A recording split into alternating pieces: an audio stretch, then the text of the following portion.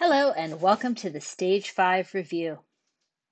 In Stage 5, we met the third person plural of regular verbs and the verb to be, and we met the nominatives plural of the first, second, and third declensions.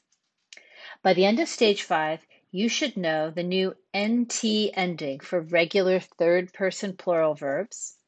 You should know the third person plural of the irregular verb to be, sunt, you should know the new endings for the nominative plural of first, second, and third declension nouns.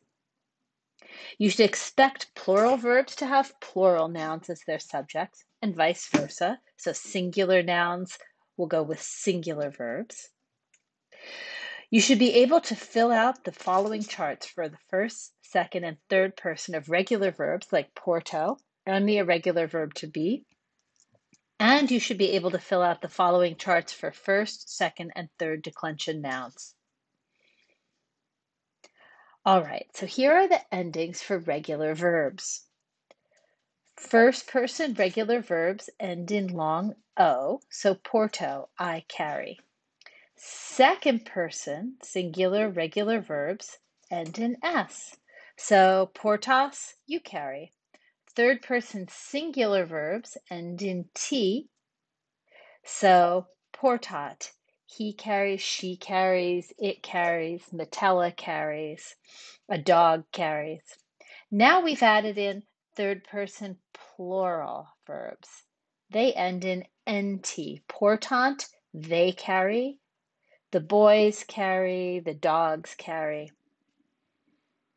Here'es the irregular verb to be. We already knew sum, I am, s, you are, est, he or she or it or the dog is. Now we have sunt. Sunt, they are, the dogs are, the girls are. Okay, third person plural. Now, to go with our third person plural verbs, we're going to need plural nominatives. So we already knew the nominative singular and accusative singular of the first declension. So nominative singular for subjects, accusative singular for direct objects. Now to go with our plural verbs, we have nominative plural.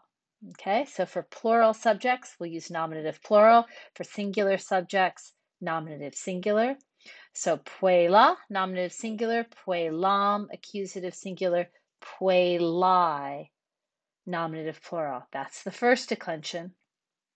Second declension, we had nominative singulars ending in us, accusative singular ending in um.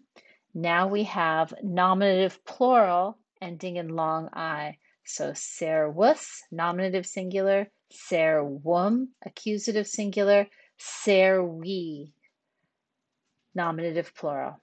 That's the second declension. Now here's the third declension. Remember, third declension nominatives can end in anything. So we're going to use leo. Leo, nominative singular.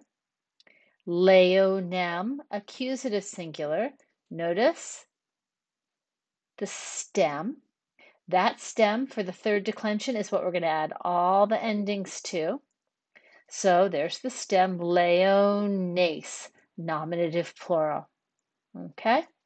So nominative plurals of the third declension end in long es, like leones.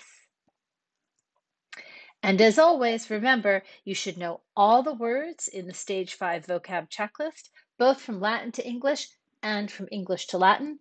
Don't forget, we have Quizlet lists to help you with that.